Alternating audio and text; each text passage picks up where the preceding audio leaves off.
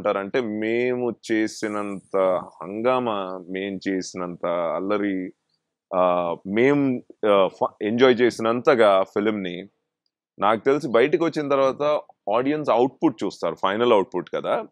ఈ final output కంటే కూడా మేము లోపల ఎంజాయ్ చేసేది హండ్రెడ్ టైమ్స్ ఉంటుంది.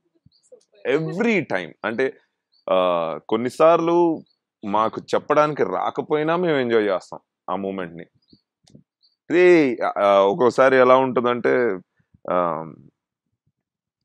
నువ్వు నాకు నచ్చావు సినిమాలో వెంకటేష్ గారు అనుకుంటారు. రే రే రే ఏమైందిరా నీకు? కళ్ళు చూస్తే సొల్లు కాచుకోవటమేనా అంటారు కదా. అలాగా చెప్పేటప్పుడు రే రే రే ఏమైందిరా నీకు? చిన్న డైలాగ్ చెప్పలేవు నువ్వు డబ్బింగ్ ఆర్టిస్ట్ ఏంట్రా? మమ్మల్ని మేమే తిట్టుకుంటూ ఉంటాం. సో ఇట్ డిపెండ్స్ అన్నమాట. అంటే ఒక్కొక్క క్యారెక్టర్ ఒక్కోలాగా. దాని బిహేవియర్ పట్టుకోవడం కష్టం. వాయిస్ని మ్యాచ్ చేయడం చాలా ఈజీ. అంటే మీరు ఇప్పుడు అన్నయ్య ఉన్నారు. అన్నయ్యకి ఇప్పుడు వాయిస్ చెప్పాలి. ఇప్పుడు ఆయన మాట్లాడారు. ఆయన లిప్ కదిలిస్తే నేను దానికి చెప్పేయటం ఈజీ. కానీ ఆయన బాడీ లాంగ్వేజ్ ఏంటి? ఆయన పర్సనాలిటీ ఏంటి? ఆయన ఏ కైండ్ ఆఫ్ మెంటాలిటీ అయింది? ఇప్పుడు ఆయన ఫన్నీగా ఉన్నారా? ఇప్పుడు ఆయన ఫన్ క్యారెక్టరా? లేకపోతే సీరియస్ క్యారెక్టరా? కన్నింగ్ క్యారెక్టరా?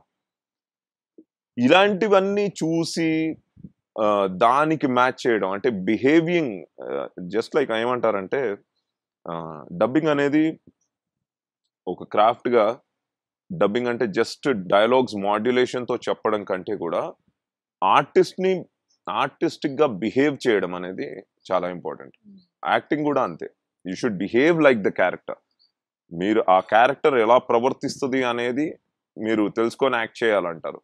ఆ బిహేవియర్ని మేం మ్యాచ్ చేయాలి. So we also should behave like that. మేము లోపల చేసుకునే చాలా సిల్లీ సిల్లీ థింగ్స్ ఉంటాయి. కొన్ని టెక్నిక్స్ అన్నమాట. అవన్నీ చేస్తే మాకే నవ్వు వస్తుంది.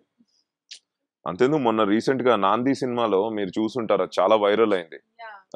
అల్లు అల్లరి నరేష్ గారు వెనక్కి ఇలా వెళ్ళిపోయి చెప్పారు.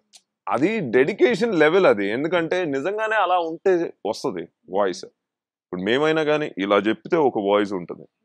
ఇలా చెప్తే ఒక మా ఇలా చెప్తే అసలు కంప్లీట్గా ఏం ఉండదు. బేస్ కంప్లీట్గా వాయిస్ ఓపెన్ అయిపోయి వస్తూ ఉంటుంది. సో అది డిపెండ్స్ అన్నమాట. దానికి ఎలా చెప్తాం? చెప్పేటప్పుడు ఎంత ఫన్నీగా ఉంటుంది?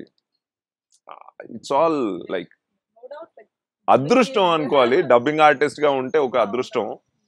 ఏంటంటే మీకు మూవీ చూడొచ్చు ముందే. అండ్ సెకండ్ థింగ్ ఏంటంటే చెప్పేటప్పుడు